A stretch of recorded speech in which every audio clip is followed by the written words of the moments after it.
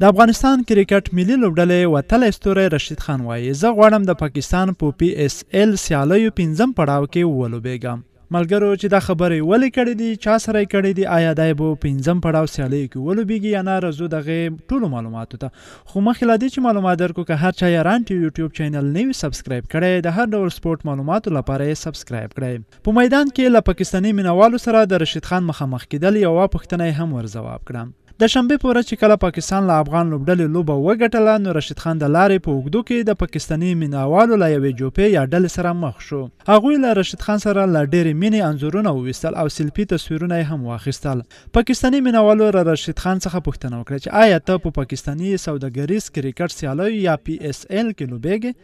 رشید خان ځواب ورکړ، هو زه غواړم چې د پي ایس ایل پنځم پړاو سیالیو کې ولوبېږم. رشید خان د افغان لوبډلې یو پیاوړی بالر دی، د نړۍ په کچه مشهور دی او د نړۍ په کچه مینه وال هم لري.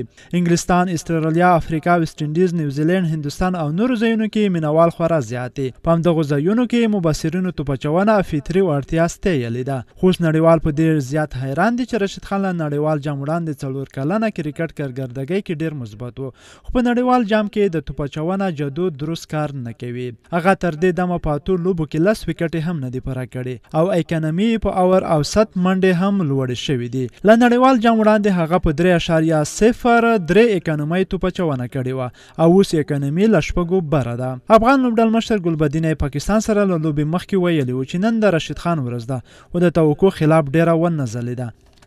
ډیره مننه ملګرو چې تر پایه رسره پاتې شوي باید یادونه وکړو چې دغه مطلب په یاران ډاټ کام ویب سایټ کې راغلی و چې سمیع الله درني لیکلی